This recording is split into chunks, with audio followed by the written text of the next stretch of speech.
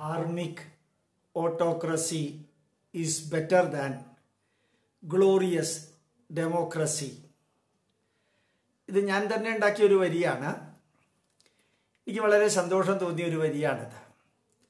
ധാർമ്മികമായിട്ടുള്ള ധർമ്മബോധമുള്ള സത്യം ധർമ്മം നീതി ന്യായത്തിൽ അടിയുറച്ച് വിശ്വസിക്കുന്ന ഒരു ഏകാധിപത്യ ഭരണമാണ് ഈ ലോകം മുഴുവനും കൊട്ടിഘോഷിക്കുന്ന ജനാധിപത്യം ഗ്ലോറിയസ് ആയിട്ടുള്ള ജനാധിപത്യം എന്ന ഭരണത്തെക്കാൾ നല്ലത്. Dharmic autocracy is better than glorious democracy ഇതെന്റെ മാത്രം വീക്ഷണമാണ്. ബാക്കിയുള്ളവർ ഇത് സ്വീകരിക്കണമെന്ന് നിർബന്ധമില്ല. പക്ഷേ കഴിഞ്ഞ രണ്ടാഴ്ച മുമ്പ് ഒന്നര ആഴ്ച മുമ്പ് ഒരു വ്യക്തി രാഷ്ട്രീയ സ്വാധീനത്തിന്റെ പേരിൽ നമ്മുടെ ജനാധിപത്യ വ്യവസ്ഥതയുടെ എല്ലാ നന്മകളെയും ചൂഷണം ചെയ്ത് നശിപ്പിച്ച് തകർത്ത് തരിപ്പണമാക്കി ഒരു ഒരു മതത്തിന്റെ അതുപോലെ തന്നെ രാഷ്ട്രീയത്തിന്റെ അതുപോലെ തന്നെ ഭൂരിപക്ഷത്തിന്റെ പിന്തുണ രാഷ്ട്രീയത്തിലെ ഭൂരിപക്ഷത്തിന്റെ പിന്തുണയും വെച്ചുകൊണ്ട് ഈ കാസർഗോഡ് ജില്ല മുഴുവനും കറങ്ങി നടന്ന് എനിക്ക് രോഗമുണ്ട് നിനക്കും വരട്ടെ എന്ന രീതിയിൽ ധാർഷ്ട്യത്തോടുകൂടി പെരുമാറിയതിന്റെ പരിണത ഫലം യഥാർത്ഥത്തിൽ കാസർഗോഡ് ജില്ല അനുഭവിക്കുന്നു. ഇനി ഇന്ന് ഇന്നലെ വൈകുന്നേരം മുതൽക്ക് വളരെ വിചിത്രമായിട്ട് കേട്ടുകൊണ്ടേയിരിക്കുന്ന ഒരു കാര്യം. ഇടുക്കിയിലെ ഒരു പൊതുപ്രവർത്തകൻ രാഷ്ട്രീയ സ്വാധീനമുള്ള വ്യക്തി അതുപോലെ തന്നെ ട്രേഡ് യൂണിയനിലെ സമുന്നത നേതാവ് പേര് പുറത്തേക്ക് വിടാൻ പാടില്ല എന്ന് അവർ പറഞ്ഞതുകൊണ്ടും പുറത്തേക്ക് വിടാത്തത് കൊണ്ടും കൃത്യമായിട്ട് അറിഞ്ഞുകൂടാ.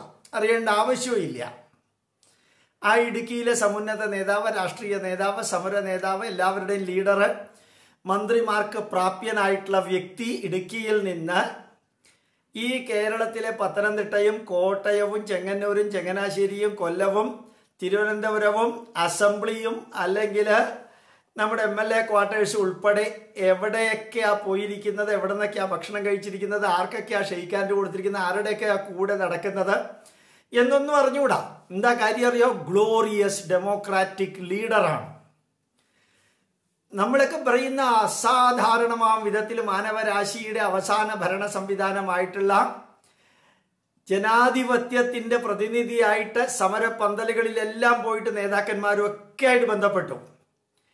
അത് കുറേ കാലമായി അങ്ങനെ അത് ചെയ്യുന്നു? വിചിത്രമായിട്ട്. അങ്ങേർക്ക് അസുഖം ഉണ്ടായിരുന്നു അത് അങ്ങേർക്കറിയാം.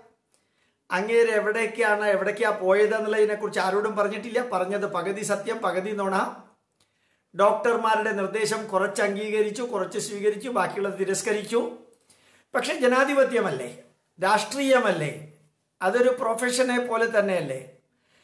ആരോ കളമശ്ശേരിയിലെ നേതാവ് പറഞ്ഞ പോലെ ഞാൻ കളമശ്ശേരിയിലെ പാർട്ടിയുടെ സെക്രട്ടറിയാണ് എന്നറിയാമല്ലോ എന്ന് പോലീസുകാരോട് പണ്ടും ഇന്നും ഇടയ്ക്കും പറയാറുള്ള മാതിരി ജനാധിപത്യത്തിന്റെ ശരിക്ക് ഈറ്റില്ലമായിട്ടുള്ള കേന്ദ്രങ്ങളിലെല്ലാം വിലസുന്ന ഈ വ്യക്തികൾ രാഷ്ട്രീയക്കാര്.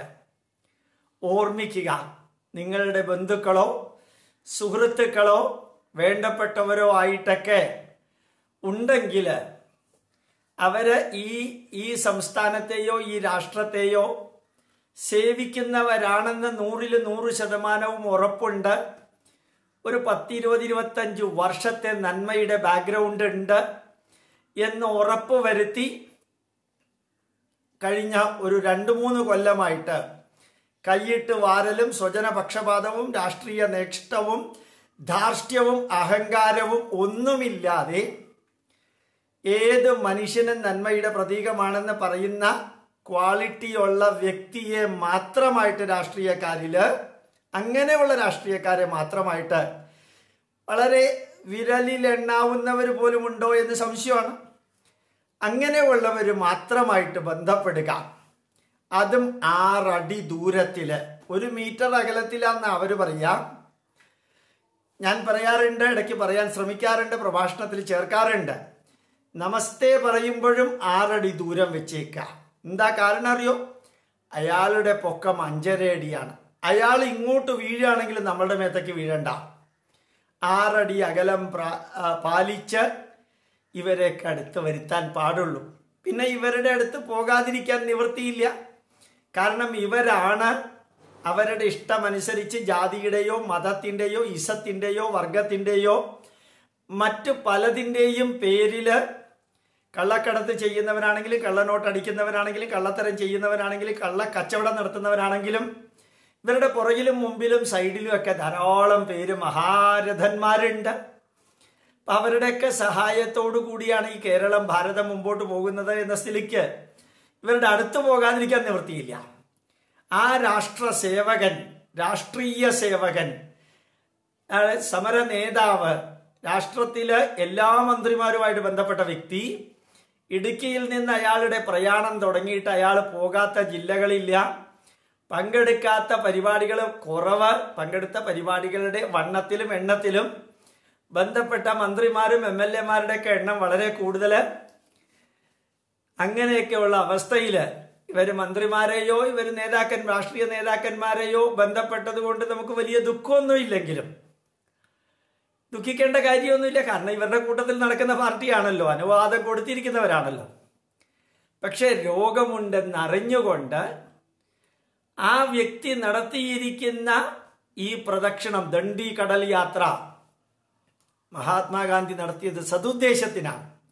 ഇയാൾ ഇങ്ങനെ ഒരു യാത്ര നടത്തിയത് എന്തിനാണാവോ? ഇടുക്കിയിൽ നിന്ന് എല്ലാ പരിപാടിയിലും പങ്കെടുത്തോണ്ട് എനിക്കൊന്നും സംഭവിക്കില്ല. നിങ്ങൾക്ക് എന്തെങ്കിലും സംഭവിച്ചാൽ ഞാനല്ല ഉത്തരവാദി. ഇതാണ് ഭരണകർത്താക്കളുടെ ഒന്നാം ലോക മഹായുദ്ധം മുതൽക്ക് ഉണ്ടായ പാർട്ടിയുടെ ഭരണകർത്താക്കളുടെയും നേതാക്കളുടെയും ധാർഷ്ട്യം. ഞാനത് ചെയ്യും. നീ ആരാ അത് ചോദിക്കാൻ? ഞാൻ എനിക്ക് ഇഷ്ടമുള്ളത് ചെയ്യും. രാഷ്ട്രത്തെ അവഹേളിക്കും സംസ്കാരത്തെ അവഹേളിക്കും വിശ്വാസത്തെ അവഹേളിക്കും ഇവിടുത്തെ ധാർമ്മികതയെ അവഹേളിക്കും ഗ്രന്ഥങ്ങളെ അവഹേളിക്കും അതിനെ ഫോളോ ചെയ്യുന്ന വ്യക്തികളെ അവഹേളിക്കും.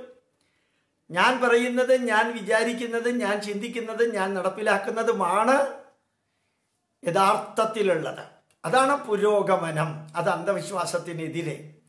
ഉറക്കെ പറയുന്നവനും ഒടുക്കം നിർത്തുന്നവനും ഒന്നും അറിയാത്തവനും ജയിക്കുന്ന പരശുരാമ ക്ഷേത്രത്തിൽ ഈ വ്യക്തികൾ കുറേ രാഷ്ട്രീയക്കാരുമായിട്ട് ബന്ധപ്പെട്ടു എന്ന് അവസാനം വാർത്തകളിലും പേപ്പറിലും ഒക്കെ പറഞ്ഞു തീർത്തപ്പോൾ നിങ്ങൾക്ക് എന്ത് തോന്നുന്നു എനിക്ക് അറിഞ്ഞുകൂടാ എനിക്കൊരു പ്രത്യേക വികാരം തോന്നുന്നുണ്ട്.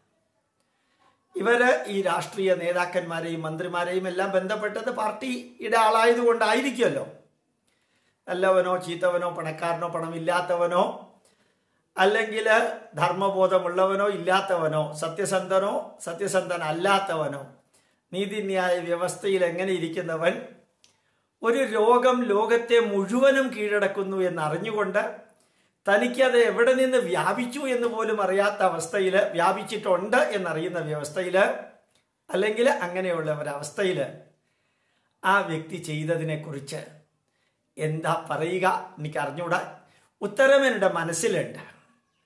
അത് അത് ഒന്ന് മാത്രം വേദനിക്കുന്ന നിഷ്കളങ്കരായ പാവപ്പെട്ടവരായ ഒരു കുടുംബത്തെയും സമൂഹത്തെയും പുലർത്തുന്ന ഡോക്ടർമാരും നേഴ്സുമാരും പാവപ്പെട്ടവരും സപ്പോർട്ടിംഗ് സ്റ്റാഫും അതുപോലെ കടക്കാരും ചെറിയ ചെറിയ പെട്ടിക്കട നടത്തി ഉപജീവനം നടത്തുന്നവരുമൊക്കെ ഇയാൾ ബന്ധപ്പെട്ടവരുടെ ലിസ്റ്റിലുണ്ട്. മറ്റ് രാഷ്ട്രീയക്കാർ കൂടാതെ അതിലാണ് കൂടുതൽ ദുഃഖം.